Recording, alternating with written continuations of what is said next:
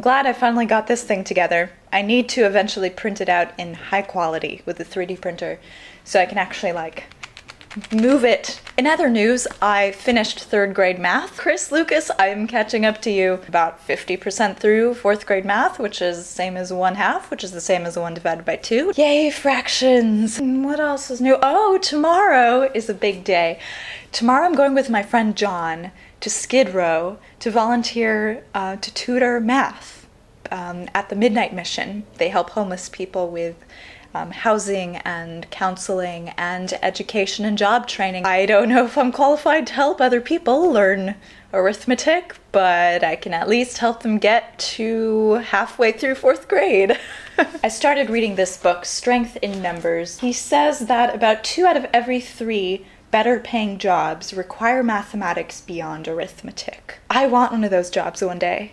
And I want to help other people get those jobs. Mostly, I'm hoping that by helping other people, I will be helping myself. Based on the first three pages, I really like this book so far. You and I, all of us, can explore the inner and outer worlds far more than we imagine possible.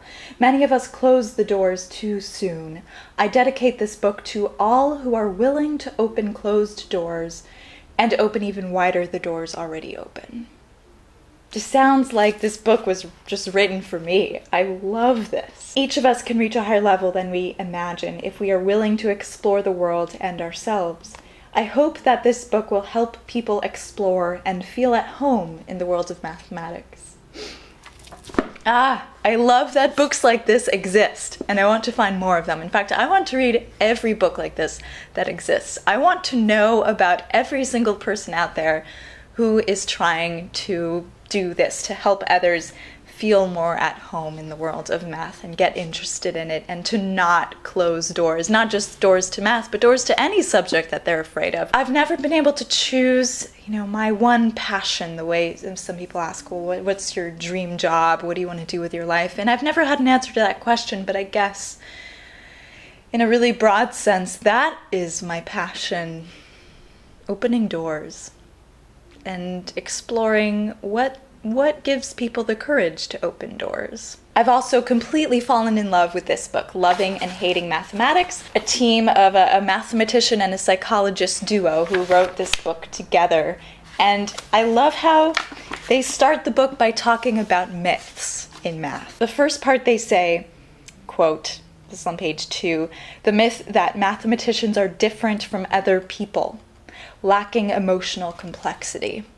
Or other stereotypes like they just sit in a room all day alone and just, you know, think about numbers all day and that's all they like to do and they don't like to socialize and they have no social skills or they're crazy. You know, it's strange. If anything, it's almost as if I was a bit disappointed when I met somebody in real life who seemed perfectly normal, maybe even less strange and less crazy than me, and it turns out that they're a mathematician. And I was kind of maybe hoping that they would have been completely crazy. But that's just not the case. The second myth they talk about in Loving and Hating Mathematics is, quote, the notion that mathematics is a solitary pursuit feeding back into the other stereotype that mathematicians are people who just stay alone locked in a room all day not true at all. Like when I interviewed Henry Segerman the other day, he talked about how he loves to collaborate with other mathematicians. Mathematics is not any more a solitary pursuit than being a writer or any kind of artist or musician for that matter. The third of our four, four myths is often stated as a quote from G.H. Hardy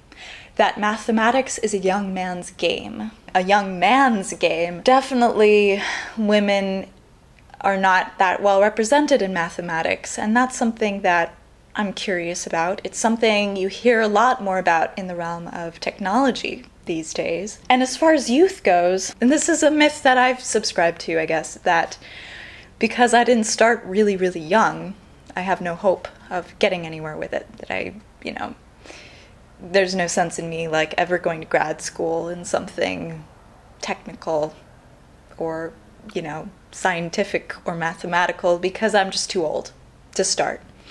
And that's not true at all, of course. And they in this book they say that they talk about a lot of mathematicians over the age of 50 and many over the age of 70 who are still very productive in their fields and that's very encouraging.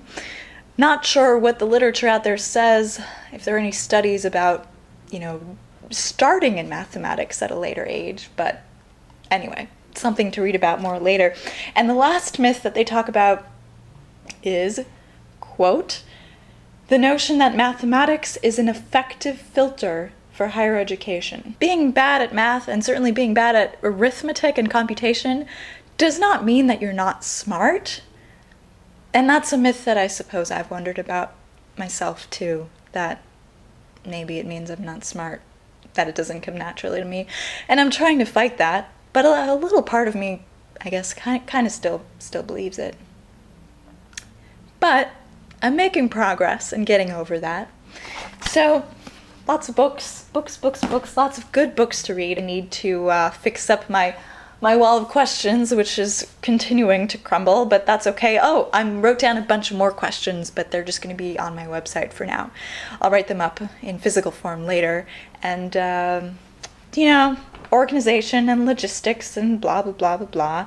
I think that's all I wanted to say. It's late, and I've been working all day on this other non math related work. And I went to this holiday lunch thing today and saw a bunch of my ex coworkers and my ex boss. It was nice to see them again, but, but a bit weird. It hasn't been that long since I quit my job, but it feels like a whole other life. Very strange. And then on top of that, I ended up feeling really sick to my stomach afterwards. So, once again, the day did not go according to plan, but it almost never does. That's okay. That's life. It's been a long time since I've talked about my larger plans and non math things in the rest of my life right now, and I really want to take a year off before I start a regular full time job. I can't think of, I don't want to travel, I don't want to go backpacking across Europe. I can't think of anything better than to spend the year reading books, going to the library, interviewing more people. What career do I really want to pursue next? Because I don't know. Wouldn't it be so cool if I could just keep doing what I'm doing now and like pick 12 topics and spend a month on each of them? Music theory and composition and meeting lots of musicians and interviewing them too and, and finding parallels between music and math, of course, and and visual arts, uh, the, the fundamentals of design and graphic design and photography and filmmaking and animation and how to draw, how to paint, writing and science and more math, computer science, of course. Oh, and physics. Yes, physics, chemistry, history, biology, classic literature, I don't know, everything. I get really excited when I think about the even tiniest possibility of actually giving myself permission to do that. I don't think my parents approve of the idea, and I will have to have a talk with them about it if I decide I really want to do it. I really want to do it. Is that so terrible?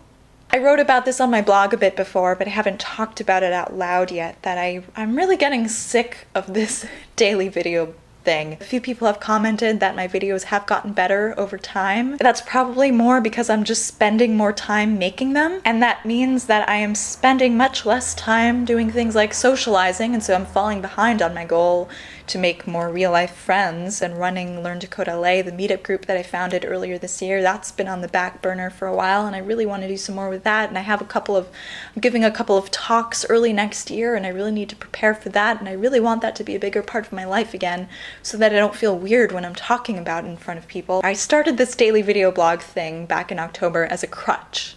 So I've been doing this for pretty soon, it'll be 75 days in a row. And I wanted to make sure that I didn't quit until I quit for the right reasons. I wanted to make sure that I didn't stop out of fear.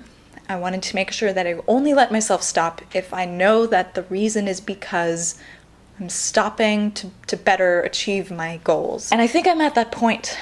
It's getting easier I am feeling much more confident. I have no doubt in my mind anymore that I can actually make a video every single day. I have no doubt. I know without question before I go to bed every night, I will finish and publish a video. And I made a commitment to go until day 100, so that's what I'll do, but I'm ready to stop. And I'm not going to stop making videos. No, I want to make lots more videos. I just want to have a little more breathing room, a little more balance in my life, and a little more time to spend. For example, anytime I write a script, I only get to use the first draft. I would love to have time to do more than a first draft, do some editing, do some iterating, some more polish, have some more time to think about how to present the ideas I want to present, how to tell the stories that I want to tell. January, after I get to day 100, I'll drop down to maybe three times a week. That's uh, that's where I'm at right now, aside from the math.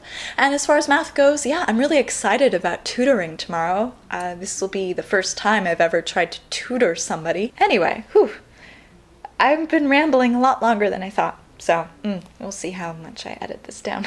anyway. Um, I'll see you all tomorrow.